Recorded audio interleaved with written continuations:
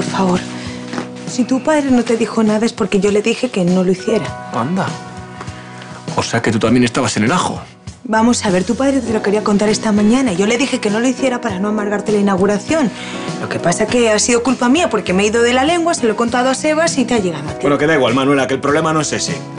El problema es que mi padre no me quiere apoyar en el proyecto más importante de mi carrera. Ahí, ahí está el kit de la cuestión, de tu proyecto, de tu carrera. Ahora es mi proyecto solo, ¿verdad? Marcelino, si no nos dejas meter baza. O sea, ayer tú estabas tan enamorado de ella que vas y le pides matrimonio. Y hoy no sois ni novios, pero tú estás tan campante. ¿Qué quiere que haga? ¿Que patalee? Hombre, ¿qué menos? Por otras cosas de menor importancia has saltado. No, hombre, que no, que no. Que yo ya he madurado. Y me he dado cuenta que la vida una vez se gana y otra se pierde y no pasa nada. Bueno, cuando una mujer te dice que no se quiere casar contigo, no significa necesariamente que no te quiera muchísimo. No, claro. Significa que te adora. Hombre, igual es que se lo has pedido en mal momento o a- de forma prematura. Entonces tienes la información sobre los nombres que aparecían en la famosa agenda de Charo. Eso es. Verá, María ha hablado con la mayoría de esas mujeres y nos ha contado quiénes se propasaban y quiénes eran respetuosos. Aquí están los que no eran muy respetuosos precisamente. Aquí hay nombres muy conocidos. Joder, pero si ahí está un ministro. Sí, Y Marquesi, el amigo de Marta. efectivamente. Ex juez y amigo personal de Ricardo Blanco. ¿Cómo estás? He visto que has traído tus cosas. Anoche cuando llegué ya estabas acostada y no quise despertarte. ¿Cómo se lo tomó justo? ¿Estaba en casa? Sí, ¿cómo se lo va a tomar fatal? Pero yo me mantuve en mis trece. ¿Y no intentó convencerte? Claro que lo intento, pero ¿sabes qué pasa? Que ya lo ha hecho tantas veces que yo no confío en su palabra.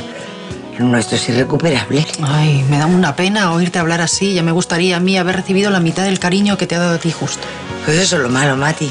Que con el cariño no se va a ningún lado. Esto es algo que ha escrito Trini. ¿Qué dices? Que Trini, la hija de la pollera, escribe novelas y cuando le da tiempo. Es su diario. ¡Ay, bien escrita su vida! Sí, es interesante. Para mí sí. Oye, ¿y cómo te la ha dejado leer? Es que no me ha dejado doña Benigna.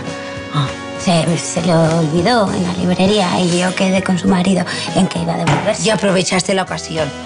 Para que luego digan que yo soy una fisgona. Sé que está mal, pero es que no podía evitarlo. Mire lo que pone. ¿Cómo está Víctor? Ahora te importa cómo está Víctor. Después de la que has montado con la maravillosa idea que has tenido de llevártelo a Londres. Oye, Vicky, a mí no me puedes considerar el culpable. Bueno, perdona, es que lo eres. Todo estaba muy tranquilito hasta que has llegado tú. Ah, eso es lo que te hubiese gustado entonces, que yo no hubiese aparecido nunca, que me hubiese muerto sin saber que No, no, tuvimos no, un no, hijo. No tergiverses mis palabras, yo no he dicho eso. Y bajemos un poquito el tono, por favor. Mira, Vicky, nos estrellamos una vez. Éramos adolescentes y Víctor es el resultado de ese error, pero es un error maravilloso.